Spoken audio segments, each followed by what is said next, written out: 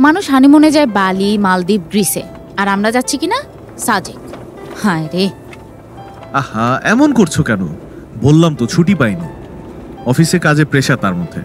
বস বলল, মাসখানেক পরে যা ছুটি চেয়েছি তার ডাবল দিবে আর বেচারা নিজেরও খারাপ লাগছে যে আমার বিয়ের পরে আমাকে একটা বড় ছুটি দিতে পারতেছে না। কাজের এত প্রেশার শোনো, এই প্রজেক্টের কাজটা শেষ হোক। আমাকে বস বলেছে যে আমাকে ছুটি পুষিয়ে দেবে। তখন তোমার মন মতো বালি মালদ্বীপ গ্রিস যেখানে যেতে চাও মঙ্গল গ্রহে যেতে চাইলে সেখানেও নিয়ে যাব ঠিক আছে? আর দেবে ছুটি তাও ডাবল আরে বাবা এমন করছ কেন?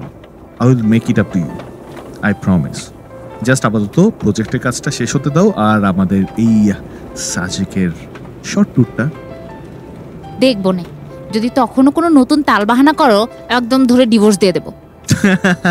আচ্ছা বাবা দিন কোনো সমস্যা নেই। এখন একটু মুখ গোমরা না করে হাসো। হ্যাঁ হ্যাঁ হ্যাঁ হয়েছে?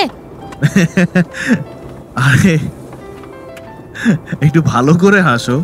হাসলে তো তোমাকে সুন্দর লাগে। হুম হয়েছে। আসছে ডায়লগ দিতে। এখন মনোযোগ দিয়ে গাড়ি চালাও। বিয়ের পর পরে আমি মরতে চাই না। তুমি না আসলেই অলক্ষণে কথাবার্তা বলো। এইসব বলতে হয় না। আচ্ছা ঠিক আছে। সরি আর বলব না। এখন গাড়ি চালাও তো সামনে তাকাও।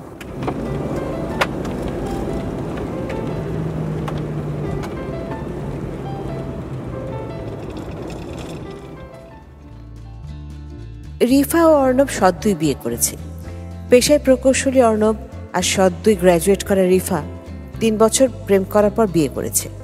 বিয়ের সময়ই বাইরের দেশের একটা ক্লায়েন্টের দেয়া প্রজেক্টে আটকা পড়ে যায় রিফাত সে আবার তার টিমের লিডার তাই শত চেষ্টা করে ছুটি ম্যানেজ করতে পারেনি। বিয়েটাও সেরেছে ছোট করে। এই নিয়ে রিফার খুব রাগ। মানুষ তো বিয়ে জীবনে দশ বারোটা করে না, একটাই করে। খুব শখ ছিল তার বিয়ে অনেক বড় সড়ো করে করবে। বিয়ের পর বাইরে কোথাও হানিমুনে যাবে। কিসের কি? কিছুই হলো না। এই নিয়ে বারবার খোঁটা দিচ্ছে অর্ণবকে। বেচারাও হজম করে যাচ্ছে। আপাতত নতুন বউকে ঠান্ডা করার জন্য সাপ্তাহিক ছুটির বন্ধে সাজেক নিয়ে যাচ্ছে। বৃহস্পতিবার রাতে গিয়ে শুক্রবার ও শনিবার সারাদিন থেকে শনিবার রাতে আবার ঢাকা ব্যাক করবে। এই প্ল্যান কিন্তু সব প্ল্যানে কি আর ঠিকঠাকভাবে সম্পন্ন করা যায়? না, সব প্ল্যানের ভাগ্যে তো তা থাকে না। অর্ণব রিফাদের এই প্ল্যানেও সে ভাগ্যটা রইল না। কিন্তু কেন? কি হয় তাদের সাথে? কেন তাদের সাজেক প্ল্যানটাও সম্পন্ন হয় না? এই নিয়ে আজকে আমাদের কুয়াশা ক্লাসিকের এপিসোড যার নাম হচ্ছে এক রাতের গল্প।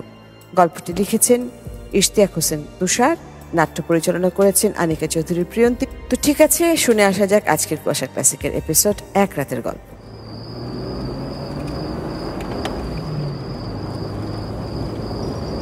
ইস বাইরে কি নিশুতি অন্ধকার? কোনো ঘর বাড়ি নেই আলো নেই। রাস্তাটাও যেন কেমন। এটা তো মেইন রোড তাই না? আরে না না। একটা শর্টকাট মারতে গেছিলাম। ওই গুগল আন্টিরে দেখে। কিন্তু মেইন রোডটা তো এতক্ষণে উঠে পড়ার কথা। তারাও একটু দেখি তো। চেক করে গুগল ম্যাপের কি অবস্থা। শেট এখন তো নেটওয়ার্ক কাজ করতেছে না। কই আছে কিছুই বুঝতে পারতেছি না। একটু দেখো দেখো।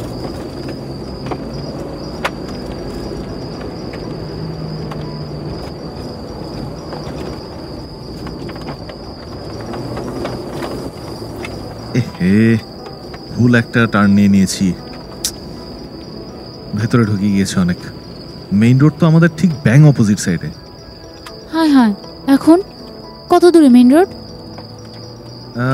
তাও তো ইউটার্ন যদি নেই এখন তাহলে মিনিমাম দশ কিলো পিছনে যেতে হবে। এই অন্ধকার রাতে এরকম নির্জন রাস্তা দিয়ে যেতে কিন্তু আমার খুব ভয় করছে। একদম গা শিরশির করে উঠছে। কত চুরি ডাকাতির কথা শুনেছি এসব রাস্তা নিয়ে।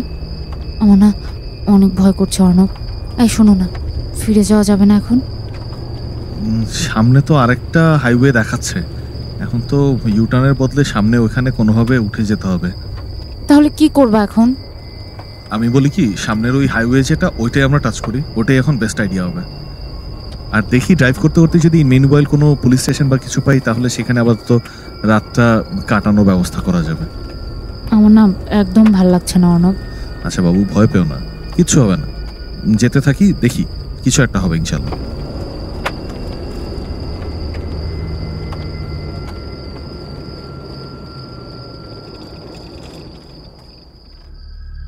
আশেপাশে তাকে খুব সাবধানে ড্রাইভ করতে থাকে অর্ণব। ভয়ে চুপচাপ বসে থাকে রিফা। মনে মনে দোয়া পড়তে থাকে, যাতে কিছু না হয় ওদের। রাস্তা যেন শেষই হচ্ছে না। এক পর্যায়ে গিয়ে আশা হারায় অর্ণব ফোনের নেটওয়ার্কও চলে গিয়েছে। ইন্টারনেট কাজ করছে না গুগল ম্যাপও ঠিকঠাক কাজ করছে না। হতাশ হয়ে পড়ে সে। এমন সময় রিফা অর্ণবকে কি যেন দেখায়।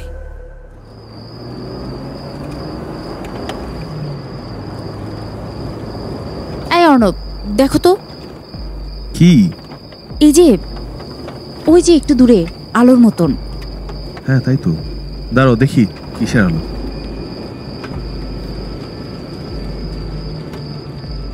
ওই যে দেখো একটা বাড়ি দেখা যাচ্ছে না? যাক বাবা একটা বাড়ি তো পাওয়া গেল। এখন সেটা মানুষ থাকলেই হয়। অবশ্যই আছে। মানুষ না থাকলে বাইরে আলো জ্বলে নাকি? কি সুন্দর দোতলা বাড়ি তাই না? হ্যাঁ আসলেই। দাঁড়াও গেটে গিয়ে হর্ন দিই। দেখি কেউ খুলে নাকি। কে?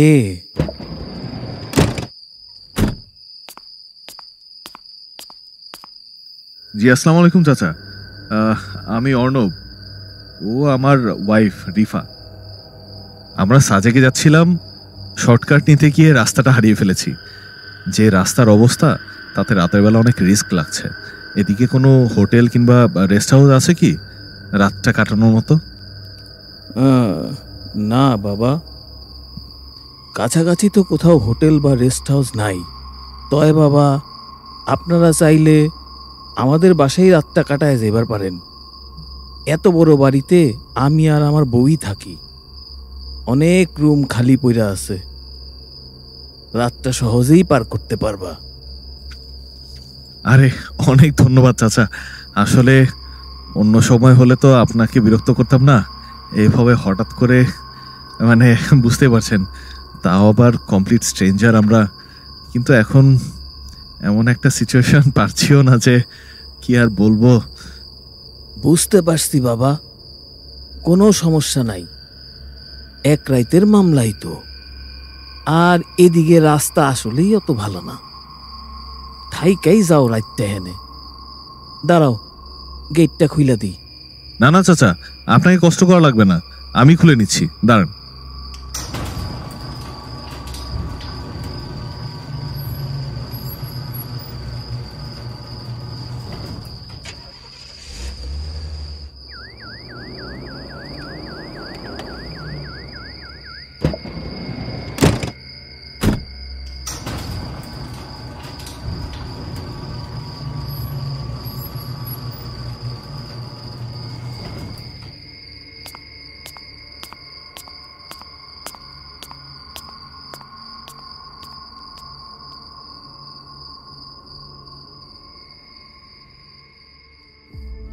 ভেতরে গাড়ি পার্ক করে মেইন গেট লাগিয়ে অর্ণব রিফা বুড়ো চাচার পিছু পিছু বাড়ির ভেতরে ঢুকে।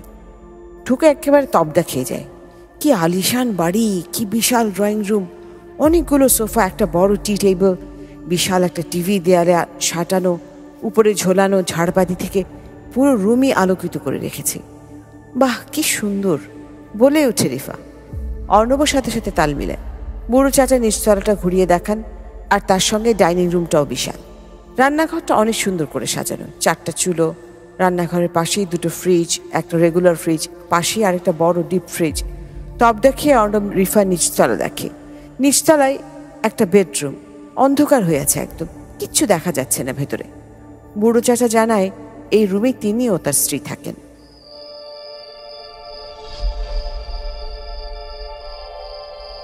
চাচা, এত বড় বাড়িতে আপনি আর চাচি থাকেন শুধু?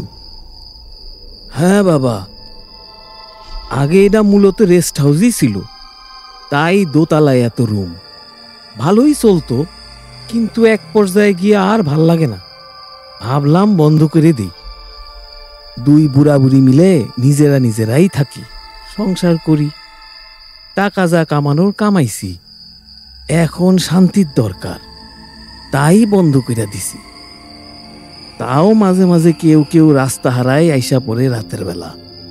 তখন তাদের থাকতে দেই। এই দিককার রাস্তা রাইতের বেলা ভালা না। আর আশেপাশের আর কোনো হোটেলও নাই। ও আচ্ছা। না রাস্তাটা আসলেই ভালো না। আর আপনাদের শান্তির ব্যাপারটা আসলেই ঠিক। শান্তি সবার আগে। শান্তি না থাকলে কি হবে এত টাকা পয়সা দিয়ে? হ বাবা ওইটাই। চলো তোমাকে রুমটা দেখা দিই। হ্যাঁ হ্যাঁ চলেন চাচা। রিফা দাঁড়াও, ব্যাগগুলো আমি নিচ্ছি।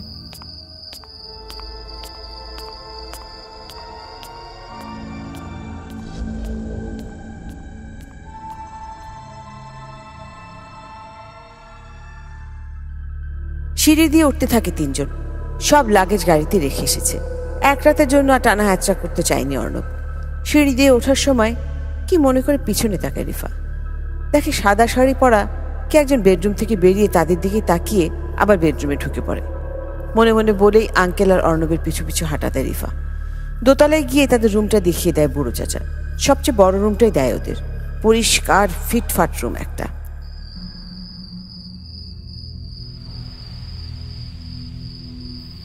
বাহ ভারী সুন্দর রুম তো। বাকি সবগুলো রুমে কি এরকম? হ্যাঁ কম বেশি এইরকমই। তবে এই রুমটাই সবচেয়ে বড়। ভালোই সাজানো গোছানো একদম। তোমরা বাবা একটু ফ্রেশ হয়ে নাও আমি নিচে খাবার দিতাছি। আরে না না চাচা কোনো খাবার টাবার লাগবে না।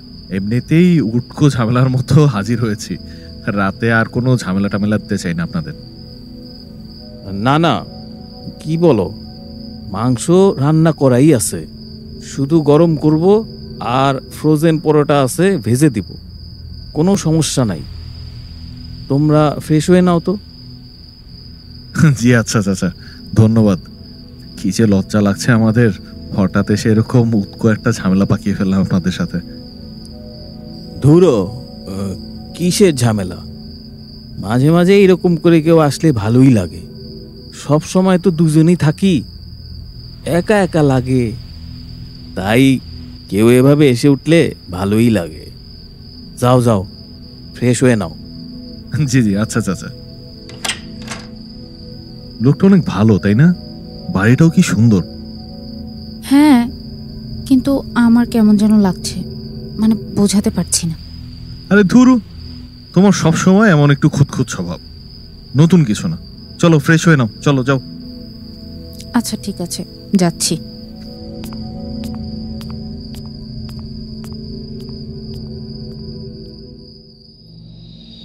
ফ্রেশ হতে নিচে যায় অর্ণব রিফা। গিয়ে দেখে বুড়ো চাচা খাবার রেডি করে বসে আছে। গরম গরম পরোটার মুরগির ঝোল খেতে গিয়ে অর্ণব রিফা টের পায় যে কি পরিমাণ খিদে লেগেছিল তাদের। গিয়ে টেবিলে বসে পড়ে দুজন।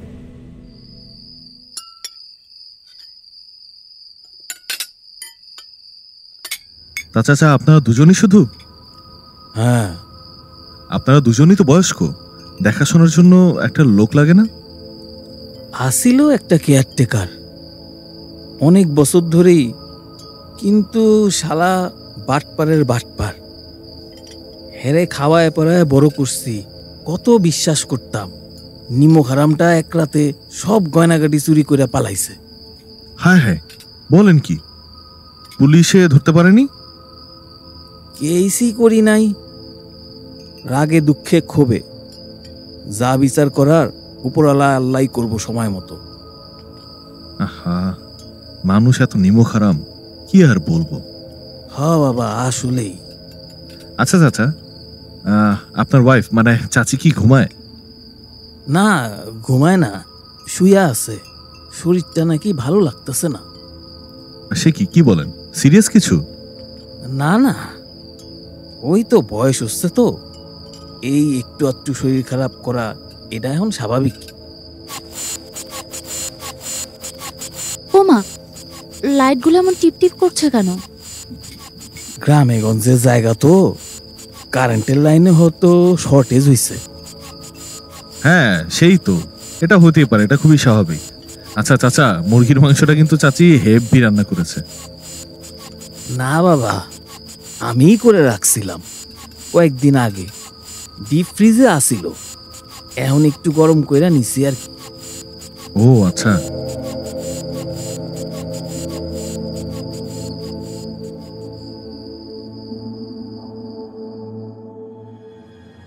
খাওয়া শেষ করে শুভরাত্রি আর ধন্যবাদ বলে বুড়ো চাচার কাছ থেকে বিদায় নিয়ে দোতলা রুমে এসে পড়ে রিফা অর্ণব। এসেই বিছানায় শুয়ে পড়ে দুজন। বাইরে তাকিয়ে দেখে ঘুটঘুটে অন্ধকার। হালকা হালকা বিজলিও চমকাচ্ছে।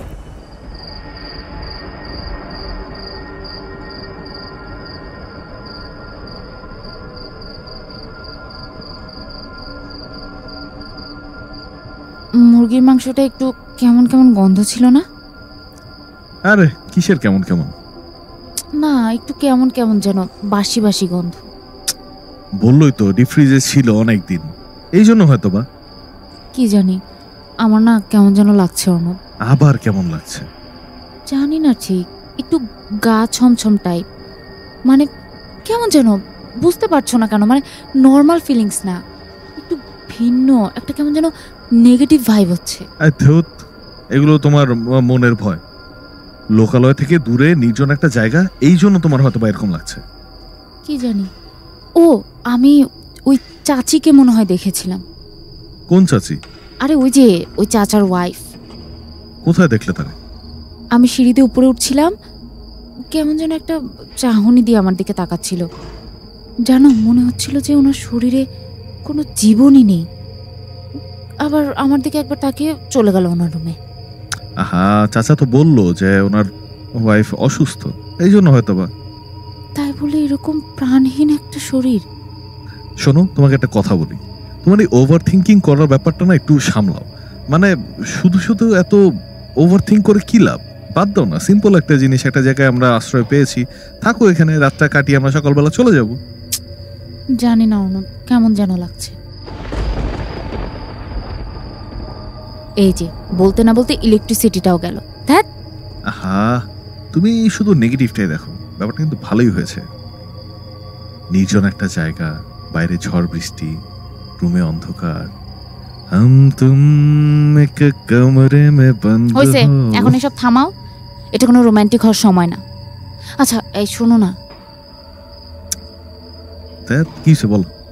শোনো ওই নিচ থেকে কেমন যেন একটা শব্দ আসছে না?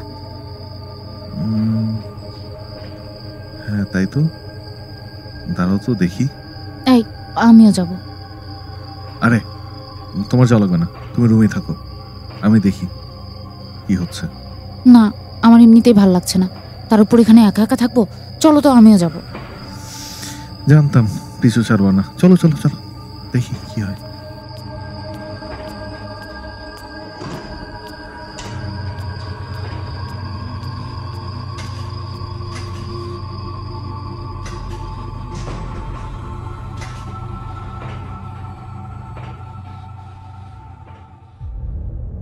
সিঁড়ি দিয়ে আস্তে আস্তে আওয়াজ না করে নিচেতে নেমে আসে রিফা অর্ণব। দেখে ড্রয়িং রুম থেকে মৃদু আলো আসছে। সে আলো লক্ষ্য করে এগিয়ে যায়। ড্রয়িং রুমে ঢুকে দেখে দুটো অবয়ব দাঁড়িয়ে আছে, মোমবাতি হাতে। ওদের উপস্থিতি টের পেয়েই যেন দুজনে একসাথে পিছন ফিরে অর্ণব রিফার দিকে তাকায়।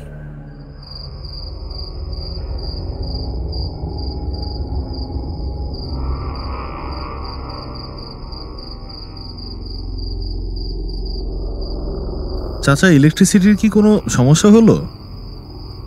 না। বৃষ্টির কারণে চলে গেছে। এসে পড়বে। ও আচ্ছা। কিছু হেল্প লাগবে আপনার? না। উপরে গিয়ে ঘুমাও। যাও। আচ্ছা ঠিক আছে চাচা।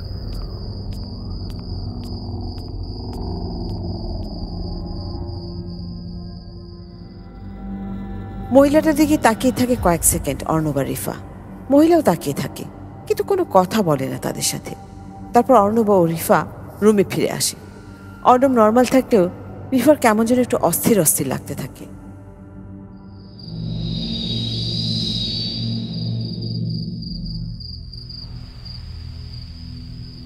উনি সেই মহিলা। ওনাকেই তুমি উপরে ওঠার সময় দেখেছিলে? হ্যাঁ। তাহলে চাচি হবে। কিন্তু আমাদের সাথে একটাও কথা বলল না কেন? শুধু নিষ্প্রাণ ভাবে তাকিয়ে চলে গেল। আরে আমি তো সেটাই বলছিলাম তোমাকে। হুম। অর্ণব খেয়াল করেছ? ওনার গলায় কীরকম যেন একটা দাগ না? কাটা দাগের মতো। অন্ধকার তো এত অন্ধকারের মতো তুমি এত কিছু কীভাবে দেখলে? মোমের আলোতেও বোঝা যাচ্ছিল একদম ভোকাল কর্ডের থেকে শুরু দাগটা কি জানি? আমি তো বুঝলাম না। আর তোমার অবজারভেশন পাওয়ারও মাশা আল্লাহ এত কিছু দেখো কেমনে? বৌদের একটু এমন অবজারভেশন পাওয়ার থাকে বুঝছ?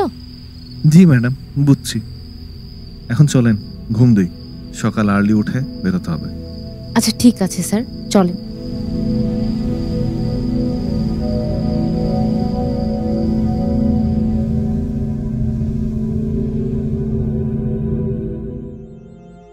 মাঝাতে হঠাৎ ঘুম ভেঙে যায় অর্ণবের। প্রথমে কিছুক্ষণ বোঝার চেষ্টা করে কিসের জন্য ঘুমটা ভাঙল। বুঝতে পারে না, কিন্তু কেমন যেন একটা অস্বস্তি ভাব লাগতে থাকে। খেয়াল করে, খুব ঘামছে সে। কিন্তু কেন সেটা বুঝতে পারে না। ফ্যান চলছে, বাইরে বৃষ্টি, হাওয়ায় ঠান্ডা বাতাসও আছে। তাও সে ঘামছে। ভ্যাপসা একটা গরম, কেমন যেন। আর সাথে অস্বস্তি। না পেরে সে উঠে পড়ে। তাকিয়ে দেখে রিফা অঘরে ঘুমোচ্ছে। সেটা দেখে আর ডাক দেয় না সে রিফাকে। বিছানা থেকে উঠে কিছুক্ষণ হাঁটাহাঁটি করে, কিন্তু অস্থিরতা তো কমছেই না। কি করবে কি করবে ভাবতে ভাবতে বাড়ির সামনের দিকে বারান্দাও আছে একটা বড়ই। সেখানে গিয়ে একটু দাঁড়িয়ে বাইরের ফ্রেশ বাতাস নেবে। রুম থেকে বের হয়ে করিডোর ধরে বারান্দাতে যায়। গিয়ে কিছুক্ষণ দাঁড়িয়ে থাকে। ভালোই বাতাস। ঠান্ডা, একটু বেশি হিমশীতল বাতাস। কিন্তু তাও তার অস্থিরতা কমছে না। ঘেমেই যাচ্ছে। বেশ কিছুক্ষণ ধরে বারান্দায় দাঁড়িয়ে থাকে। হঠাৎ করে পেছনে আওয়াজ পায়। ঘুরে তাকিয়ে দেখে বুড়ো চাচার সাথে সেই মহিলাটা।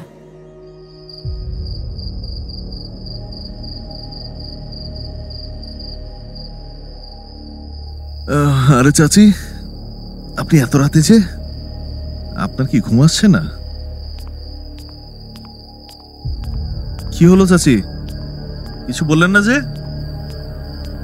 আরে আরে চাচি কোথায় যাচ্ছেন অন্ধকারের মধ্যে?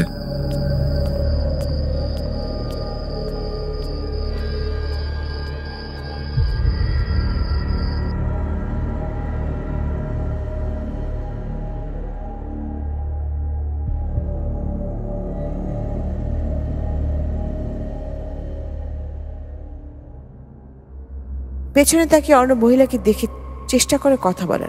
কিন্তু মহিলা কোনো কথাই বলে না। বরং কেমন যেন একটা শীতল চাহনি দিয়ে উল্টো দিকে হাঁটা দেয়। হেঁটে একটু এগিয়ে গিয়ে পেছন ফিরে তাকায় অর্ণবের দিকে। তারপর আবারও হাঁটা দেয়। তা দেখে অর্ণবও পেছন পেছন হাঁটা দেয়। মহিলাটার কাহিনীটা কি? কথাও বলে না। এমন উৎফট কেন? এর মধ্যে আবার কারেন্ট চলে যায়। সব ঘুটঘুটে অন্ধকার। তারপর অন্য মহিলার পেছন পেছন যেতে থাকে। মহিলাটা নিচতলায় যাচ্ছে।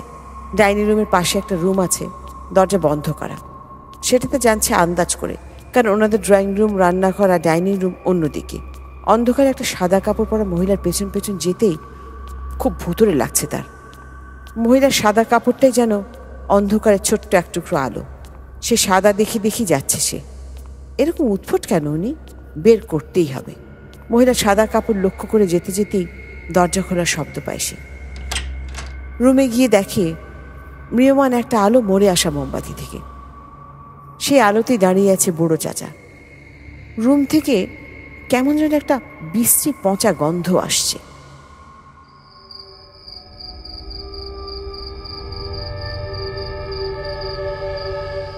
চাচা দেখি জেগে আছেন। অ্যাকচুয়ালি আমারও ঘুম আসছিল না। বারান্দায় গিয়ে দাঁড়িয়েছিলাম। চাচিকে দেখলাম। দেখি আমাকে দেখি কিছু না বলেই চলে গেল। আমিও তার পেছনে পেছনে হাঁটা ধরলাম। ভাবলাম তার সাথে একটু গিয়ে গল্প করি।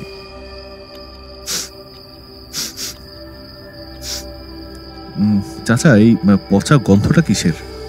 কেমন একটা বিচ্ছিরি পচা গন্ধ আসছে। আমাগো লাশের। মানে কি- বলতে যাচ্ছেন আপনাদের লাশের? আপনারা তো জ্যান্ত মানুষ। আমার সামনে দাঁড়ানো, কি মজা করছেন নাকি?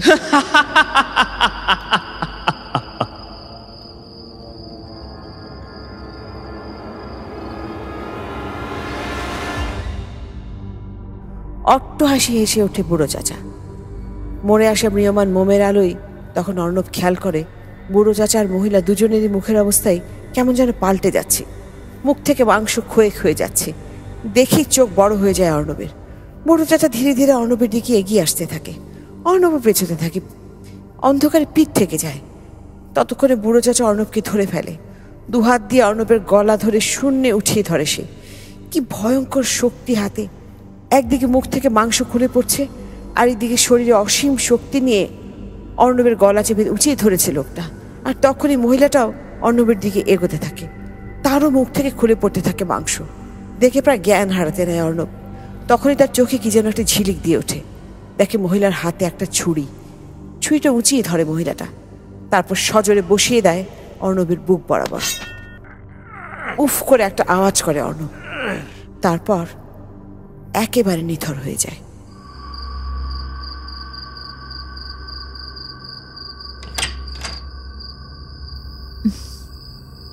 অর্ণব, কোথায় গিয়েছিলে এই অর্ণব, কথা বলছো না কেন? অর্ণব? এ কি? এই, তোমার জামায় রক্ত কেন? অর্ণব? এই, কি হলো? কথা বলছো না কেন? অর্ণব?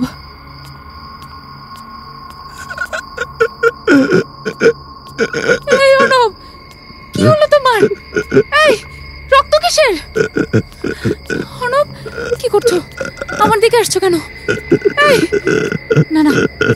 আমার কাছে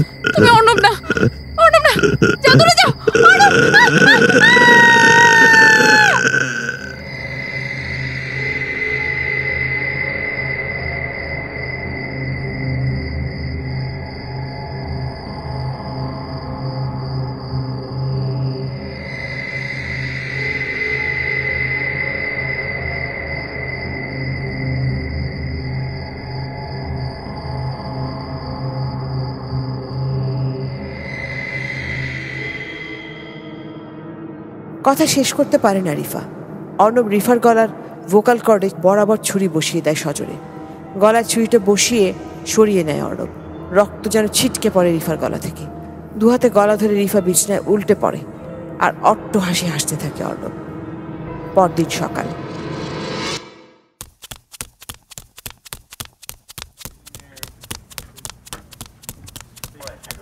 আনিস! স্যার ও আনিস! স্যার এই ছেলে থামো। এটা একটা থানা। চেঁচাচ্ছ কেন? কি হয়েছে? আনিস স্যার আনিস স্যার কই? আনিস স্যারে ডাকেন। খুব গুরুত্বপূর্ণ। ডাকছি দাঁড়াও। এই আনিস! আনিস! এক ছেলে তোমাকে খুঁজছে। অনেক গুরুত্বপূর্ণ বলছে নাকি। এই যে স্যার এই যে আমি। কে- কে খুঁজতেছে? স্যার স্যার আমি আমি আমি আমি আমি পরশ। আরে পরশ কি হয়েছে এরকম হাঁপাচ্ছ কেন? কইতেছি স্যার খারান একটু একটু একটু একটু পানি দেন সম্ভব হইলে। দাঁড়াও আনতেছি।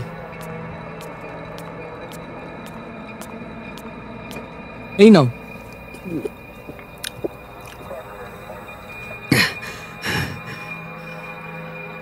হ্যাঁ এখন বলো কি হয়েছে স্যার ওই যে ওই যে হোটেল মতন বাড়িটা আছে না গ্রামে ঢুকার আগে যে বাড়িটা? হ্যাঁ হ্যাঁ কি হয়েছে ওই বাড়িতে?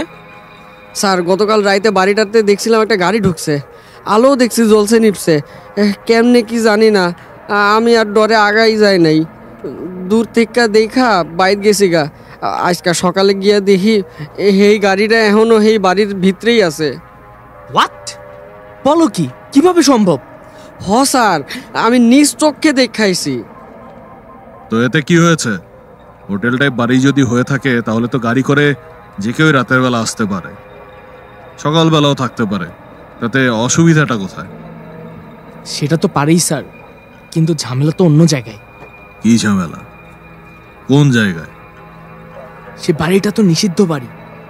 নিষিদ্ধ বাড়ি মানে? বলছি স্যার চলেন আগে সেদিকে রওনা দিই। রাস্তায় যেতে যেতে বলছি। এই পরশ তুমিও চলো। আচ্ছা স্যার। আচ্ছা লেটস গো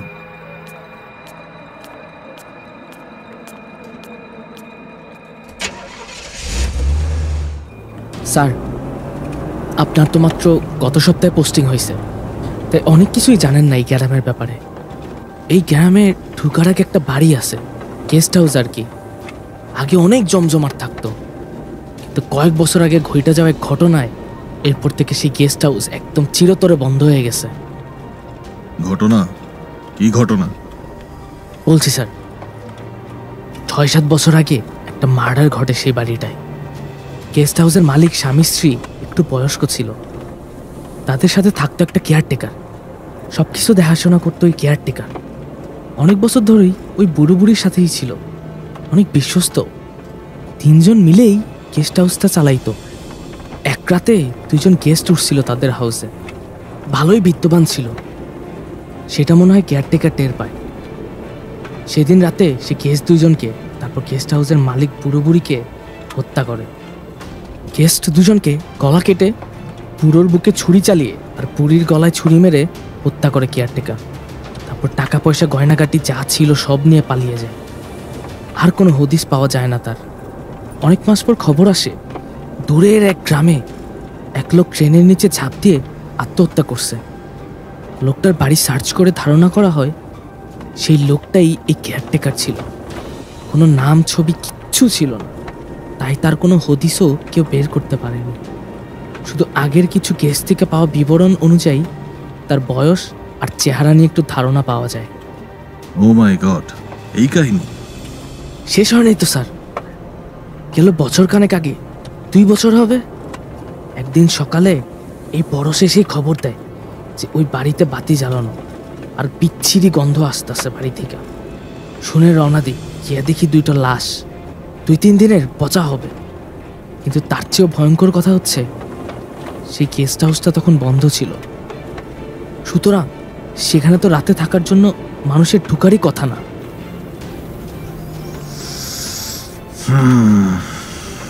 তাহলে? এটাই তো রহস্যটা। এরপর সেই গেস্ট হাউসটা একদম সিলগালা করে নিষিদ্ধ করে দেওয়া হয়েছিল। তাই এই কয়দিন আর কিছুই হয়নি। এই জন্যেই অবাক হচ্ছি। সেই বাড়িতে তো মানুষের যাওয়ার কথা না? তুমি কি ধারণা করছ তাহলে? জানি না স্যার। সেটাই তো গিয়ে দেখতে হবে। তবে মন বলছে ওরকমই কোনো কেস। এই যে স্যার চলে এসেছি ওই যে।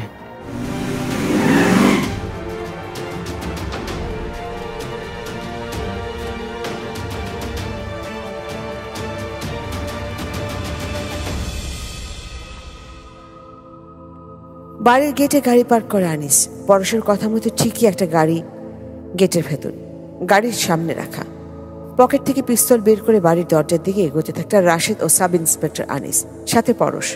লাথি দিয়ে দরজাটা খুলে বাড়ির ভেতরে ঢুকে ইন্সপেক্টর রাশেদ। চারদিকে খুটখুটে অন্ধকার। বাইরে থেকে ড্রয়িং রুম দিয়ে আসা আলোই যা একটু আলো দিচ্ছে। ইন্সপেক্টর রাশেদ লাইট জ্বালাতে যায়, কিন্তু আনিস জানায় যে বিদ্যুৎ সংযোগ নেই এই বাড়িতে। প্রথমে ড্রয়িং রুম তারপর রান্নাঘর বেডরুম ডাইনিং রুম চেক করে, কিছুই পায় না। তখনই মোবাইলের আলোয় সাব ইন্সপেক্টর আনিসের চোখে পড়ে, ফ্লোরে পড়ে থাকা ছোপ ছোপ রক্তের উপর। উচ্চ খোঁজার জন্য তাকিয়ে দেখে ডাইনিং রুমের কোনায় একটা দরজা, সেখান থেকে এসেছে ছোপ ছোপ রক্তের দাগ। উঠেছে সিঁড়ি বেয়ে। প্রথমে গিয়েই সেই রুমটা চেক করে, কিছুই পায় না। শুধু ফ্লোরে কয়েক জায়গায় ছোপ ছোপ রক্ত। তারপর সেই রক্তের ট্রেইল ধরে পরের রুমে গিয়ে হাজির হয়। সেখানেই দেখে দুটো লাশ একটি পুরুষ ও একটি মহিলা। পুরুষের লাশটা ফ্লোরে পড়ে আছে বুকে ছুরির ক্ষত রক্ত পড়তে পড়তে শুকিয়ে গেছে। আর মহিলার লাশটা রক্তমাখা বিছানায় পড়ে আছে গলায় ছুরির ক্ষত সেখানে রক্ত পড়তে পড়তে শুকিয়ে গেছে।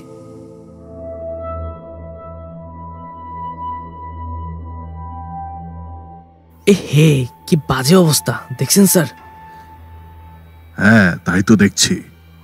পুরুষ বা মহিলা লাশটা কেটে একটু মানে ওনাদের ব্যাগ ট্যাগ ঘেটে দেখো তো কোনো পরিচয়পত্র বা আইডেন্টিফিকেশনের জন্য কিছু পাওয়া যায় কিনা? দেখছি স্যার।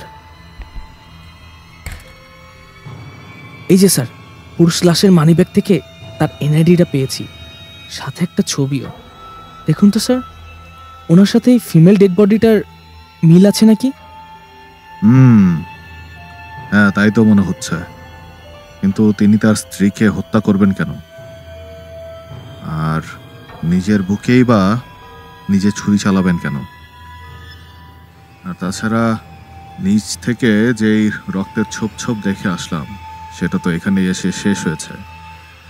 আর এর মানে দাঁড়াচ্ছে, তাকে কেউ ছুরি মেরেছে নিচ তলায়। সেখান থেকে সেই রুমে এসে তার স্ত্রীকে ছুরি মেরেছে। কীভাবে সম্ভব? আর তার থেকেও বড় কথা কেন? আসলেই স্যার সে কীভাবে ছুরির আঘাত পেয়েও দোতলায় ওঠে। উঠে আবার এত শক্তি পায় কীভাবে যে তার স্ত্রীকে ছুরি মারবে? আর পুরুষটাকে ছুরি বা মারল কে? কে আবার? এই বাড়ির মালিক। সেই বুড়ো বুড়ি। না এ কীভাবে সম্ভব? তুমি কীভাবে যা পরশ?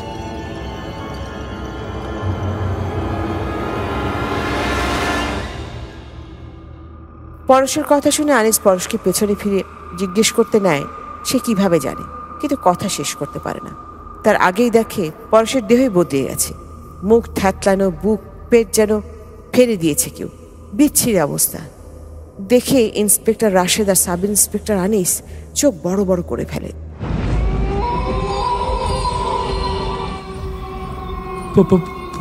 পরশ? কে পরশ? কিসের পরশ? কে তুমি? আমি সোহেল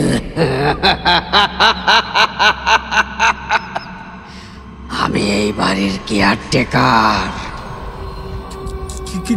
কীভাবে সম্ভব? এই বাড়ির কেয়ারটেকার তো মারা গিয়েছে। এভাবেই সম্ভব। এগরে সব মাইরা আমি দূরে গ্রামে পালাইয়া গেছিলাম। আমি পালাইয়া নতুন জীবন শুরু করতে চাইছিলাম। কিন্তু বুড়া বুড়ির আত্মা আমারে শান্তি দেয় নাই। আমারে পাগল বানাইয়া ট্রেনের নিচে ফালাইয়া মাইরা ফেলে। এরপর এরপর আমি আবারও এইখানে আইসা পড়ি। তারপর কেউ এই বাড়ি তাইলে এগরে আমরা তিনজন মিল্লা।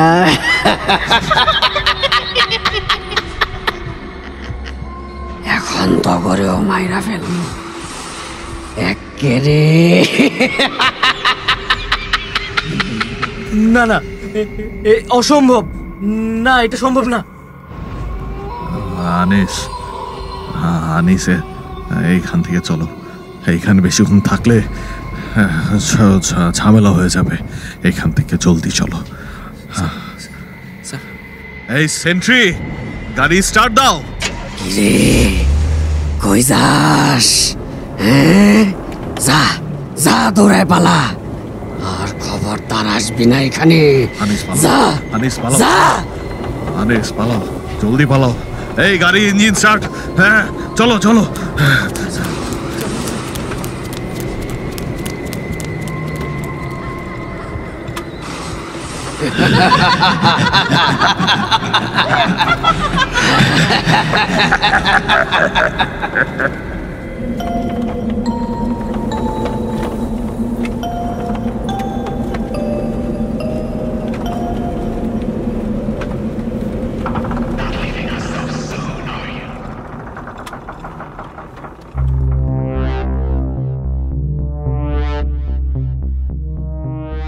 বন্ধুরা, এতক্ষণ ধরে শুনছিলেন আজকের কুয়াশা ক্লাসিকের এপিসোড, যার নাম রাতের গল্প। শুরুতেই জানিয়েছিলাম, রাতের গল্পটি লিখেছেন ইশতিয়াক হোসেন তুষার এবং নাট্য পরিচালনা ছিলেন আনিকা চৌধুরী প্রিয়ন্তী। আর এতক্ষণ ধরে আপনাদের সঙ্গে ছিলাম আমি শারমিন। আশা করি ভালো লেগেছে আজকের এপিসোডটি আপনাদের। আমাদের একটি অফিসিয়াল ফ্যান ক্লাব গ্রুপ আছে ফেসবুকে। আপনারা সেখানে সবাই জয়েন করতে পারেন। আর ফিরে আসব আবারও আগামী সোমবার কুয়াশা ক্লাসিকের নতুন কোনো এপিসোড নিয়ে। ততদিন পর্যন্ত খুব ভালো থাকবেন। আর সুস্থ থাকবেন। শুভরাত্রি।